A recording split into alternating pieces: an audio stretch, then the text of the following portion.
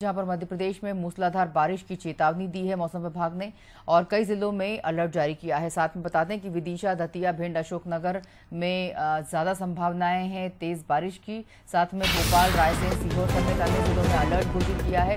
अन्य जिलों में भी बारिश की आशंका है और फ़सल सुरक्षा और जनजीवन प्रभावित जिससे कि हो सकता है किसानों को दिक्कत हो सकती है, जनजीवन प्रभावित हो सकता है। मूसलाधार बारिश की का रेड अलर्ट कुछ जिलों के लिए मौसम विभाग ने घोषित किया है।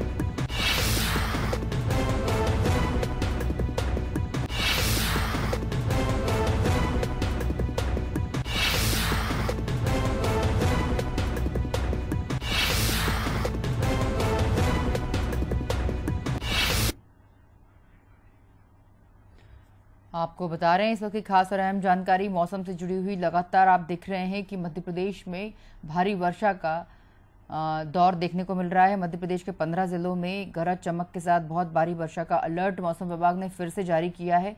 आपको बता दें बुधवार को पंद्रह जिलों में गरज चमक के साथ भा, भारी से भारी वर्षा जिसकी चेतावनी मौसम विभाग ने दी है। चलिए हमारे साथ संवाददाता दीपक सिंह जुड़ चुके हैं मौसम की अपडेट के लिए, बात करेंगे। दीपक, जिस तरह से प्रदेश के कई जिलों में मंगलवार शाम को भी तेज बारिश हुई, जिससे कि पूरा हड़कंप मचा हुआ है। चार दिन बाद हुई बारिश ने शहरवासियों को भिगो दिया और फिर भी अब अब अब सवाल उठ रहा है कि फ़सलों का, अब सवाल उठ रहा है, जनजीवन अस्त व्यस्त हो चुका है, जिससे कि जल भराव की स्थिति हो गई है। अब अति वर्षा की वजह से लोगों का जीना मुश्किल हो गया है। अभी भी फिर से मौसम विभाग ने भारी वर्षा की चेतावनी दी है। किस तरह का अपडेट मिल रहा है? कब ये वर्षा का दौर थमेगा? देखिए, मौसम विभाग ने पहले ही ये साफ़ कर दिया था कि अगले चार दिनों तक बारिश होगी। हालाँकि पिछले दो दिन भोपाल सहित कई जगह पे काफ़ी कम बारिश देखने मिली, लेकिन जिस तरह से कल बारिश हुई है, मध्य प्रदेश की बात करें तो मंडला नरोजाबाद या उमरिया, इसके अलावा बिलहरी कटनी, सिंगरौली, कई जगह बारिश हुई और काफ़ी करीब कहीं दो दो इंच से ऊपर बारिश हुई है और कहीं तीन इंच बारिश हुई है। तो जिस तरह से बारिश लगातार हो रही है इसको देखते हुए मध्य प्रदेश में जो व्यवस्था है, पूरी अस्त हो चुकी है जनजीवन अस्त हो चुका है, कई जगह जो फ़सलें हैं, उनकी बर्बादी हो रही है, इसके अलावा कई जगह लोगों को रेस्क्यू करना पड़ रहा है।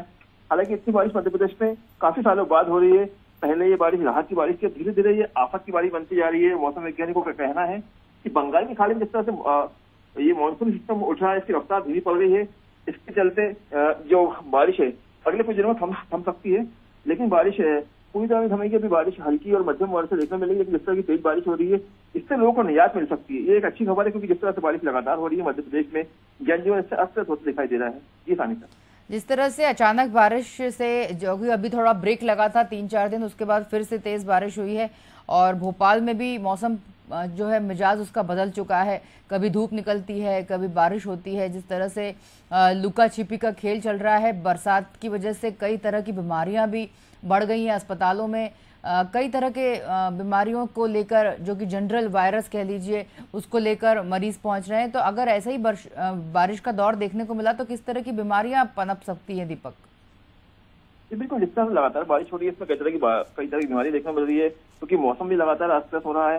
और मौसम का कोई ठिकाना नहीं है, कभी धूप निकलती है, कभी बारिश होने लगती है अचानक से। इसके चलते जो मौसमी बीमारी उनके मरीज़ बढ़े हैं और डॉक्टर को साफ़ तौर पर कहना है कि जो सामान्य दिनों में मरीज़ आते थे, उससे करीब तीन से चार गुना मरीज़ देखने को मिल रहे हैं। और इसके अलावा जो मच्छर है, उनके चलते जो डेंगू है, ये काफ़ी फैलता हुआ दिख रहा है और डेंगू काफ़ी मरीज़ मध्य प्रदेश में हो चुके हैं। हालाँकि जो स्वास्थ्य विभाग है, वो सक्रिय हो चुका है कई जगह लोग घर पे जाके वो लोग सजग कर रहा है।